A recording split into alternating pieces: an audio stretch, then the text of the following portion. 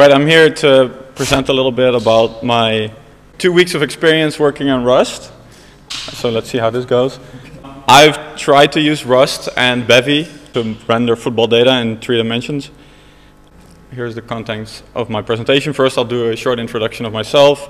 Then, why are we even modeling football data in 3D? Uh, why in Rust? And then I'll get into the, the project specifics. But first, a little bit about me. I'm Joris Bekkers, and I've been a football analytics consultant for six years now. I do most of my work in Python and SQL, and I try to share as much as I can on Twitter and on my GitHub, uh, although that doesn't always work out.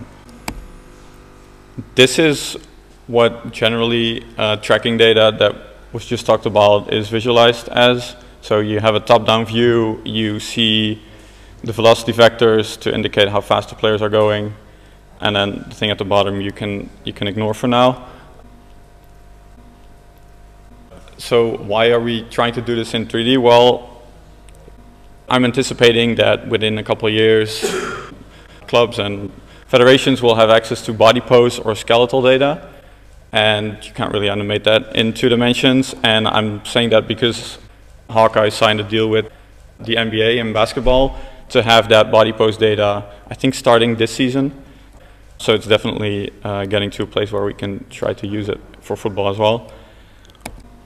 And then there are some benefits to doing it in three dimensions, even in 2D. So currently for this project, I'm using still this sort of two-dimensional data, but we can change the camera angle, potentially see what a player is seeing from a player uh, point of view. And if we want to get really fancy, we might be able to do something with virtual reality, although and that's not for now. So for those of you who don't know what body pose data is, this is an example that I pulled off of YouTube. You see that the skeletons of the the players in the on the on the screen is sort of estimated, and if we have this, we could potentially animate this back in 3D, 3D and then have it look at it from all different angles. So yeah, that's why we're trying to do this in 3D, sort of a preparation for the future. Uh, why in Rust? Well, Rust is a modern language. It only has existed for only a couple of years. It's a lot faster than Python, and it's a lot more simplified than other languages that are, that are a lot faster than Python. And because I think that learning a new language is always a good idea, this is something I worked on in 2021 when I learned Flutter and Dart to build mobile apps. And I'm not really building any mobile apps anymore, but it, learning a new language like that really helped me develop my Python skills as well. And my SQL skills a little bit too. So let's get into a short preview so you guys are aware of what I'm trying to work towards. This is what it's going to look like. I will show some moving pictures at the end, but I don't want to give everything away in the beginning. So first, let's talk a little bit about Rust. Like I said, I have two weeks of experience, so trust me, all of this is accurate. If you want to start a project, so installing Rust is the easiest thing ever. Uh, if you want to start a project, you can you get a command called cargo. So it's kind of in Python like pip or conda, and you can just start a new project. Starting a new project will give you a couple files. Amongst them is a main file and within that main file, you have a main function. And this function is the first thing that executes when you first build, compile your code, and then run your code.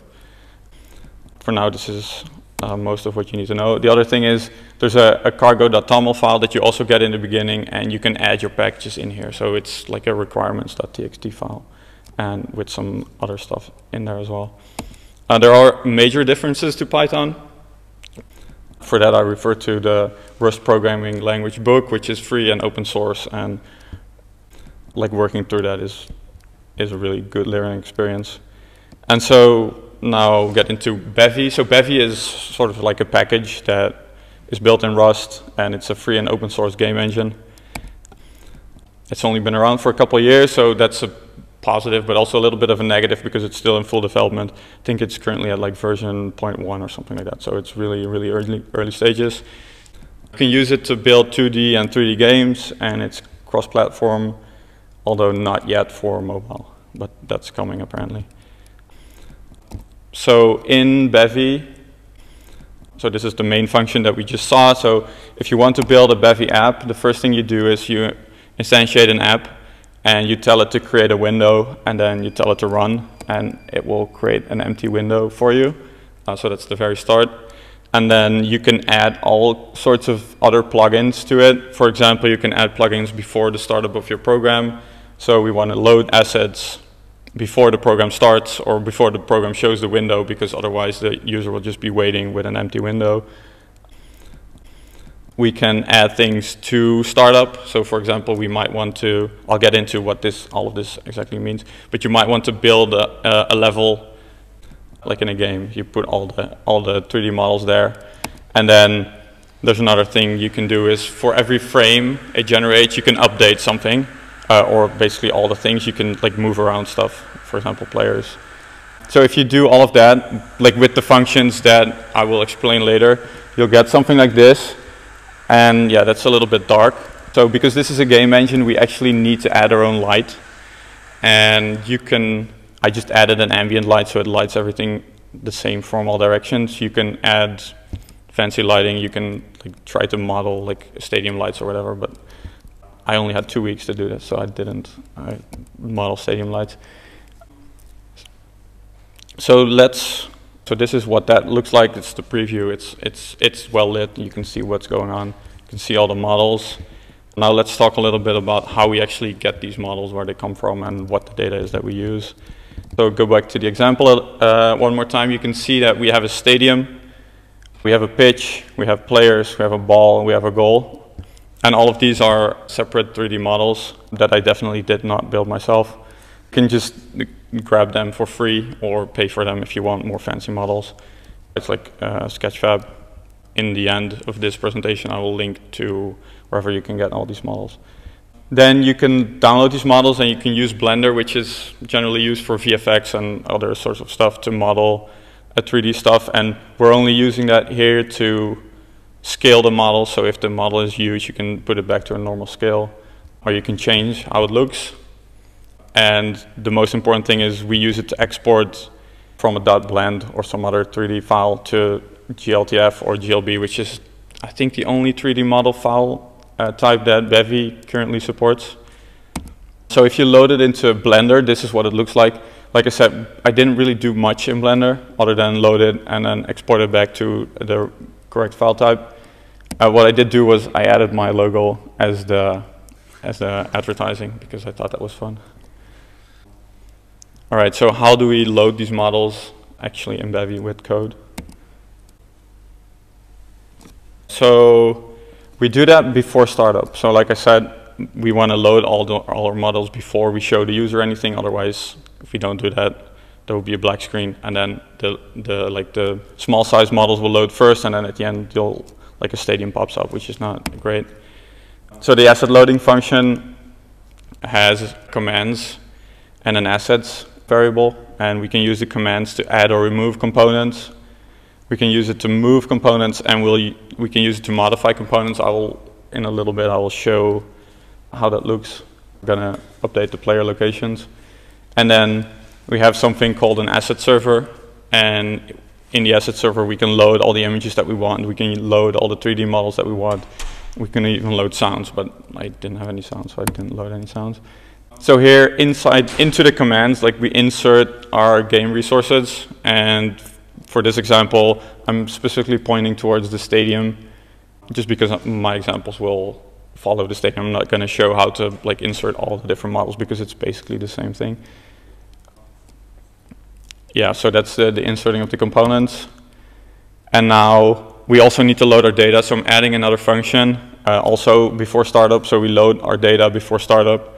Uh, this is sort of what the data looks like. So on the left, you'll see this is one frame of tracking data for one player. So you have an x, uh, an x coordinate, a y coordinate, and the components of the velocity vector, a player ID, and an indication of the players from the home team or the away team. And then uh, we load this as a JSON. In Rust, you need to specifically tell Rust what sort of variables it's going to expect. So we need to, that's what we do on the right. Which is kind of a pain when you're using JSON with a lot of fields, but it is what it is. So we have coordinate data. Our coordinate data is at 10 frames a second, and uh, I don't really know why I put this there, but the center of the page is at 0, comma 0. Uh, the only reason why this is helpful is that in our game engine, the center point is also 0, comma 0, so it makes it a little bit easier. We don't have to do any translations. So now we're going to build a basic scene. This is the next function in our in, in our sequence. This is like building a level. So you put in uh, you put in all the stuff that you want and that doesn't really have to change or you put all the players in and then change them afterwards but just you have to just put everything there like in a game you would put like mountains and cars and all that kind of stuff so we do that here through commands again we insert the scene bundle the scene bundle is basically something that helps you to place a 3d model in a certain place. You can see that we transform it, so we offset it a little bit. The only reason I did that was to match the 0, 0 of the pitch of the 3D model with the 0, 0 that we have like in the game world, so it, it all fits nicely. And then we insert a name, and the only reason we put the name there is for debugging purposes. So it's easier to find your assets.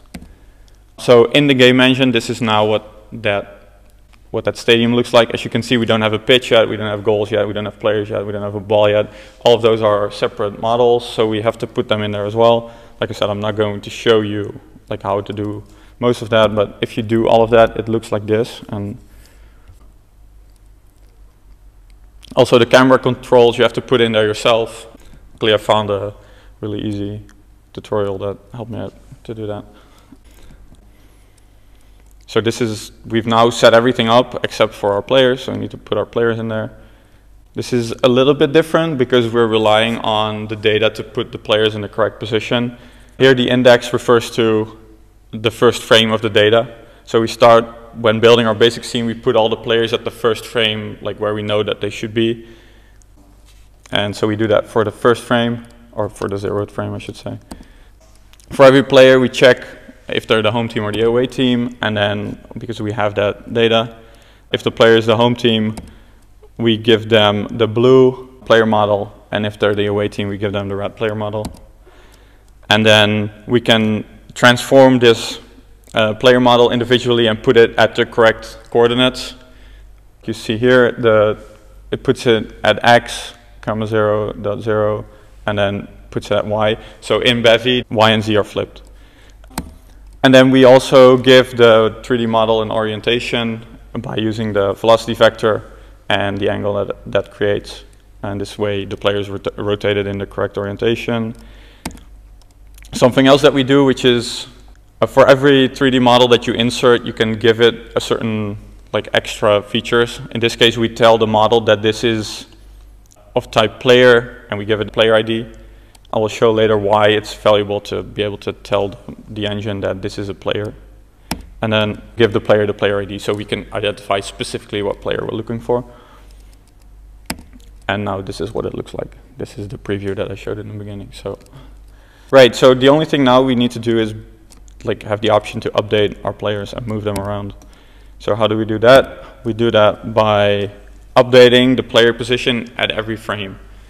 And by doing a dot add system, this is like you can add multiple of these, but they, they run at every individual frame. So here is the, uh, the reason why we added assigned a player component to each player. In Bevy, you can query for your, let's say, your 3D models or, or what have you. And here we just ask the, the engine for all the, for all the 3D objects that were assigned the value of player and we ask for their transform, and using this transform we can update the x and y and the z location. Uh, we also need the match data to figure out what coordinates we need to use, and a very helpful tool is we can, we can ask for the time, and using this time we can figure out the, the time that has elapsed from the previous frame to the current frame. And we need that because our football data is in 10 frames per second and it's fixed at 10 frames a second. But the game engine updates somewhere between 30 and 60 frames per second, but it changes depending on like how much RAM you have and like what other stuff is running in your computer. And because of this, we need to interpolate between, let's say, the first frame and the second frame to figure out where we are for the in-between frames. So let's say we have two, two data points, one at the first frame and one at the second frame, and but the game updates a lot more. So at every blue line, the game updates, but we don't have any data for this. So let's say we want the data at this uh, specific moment.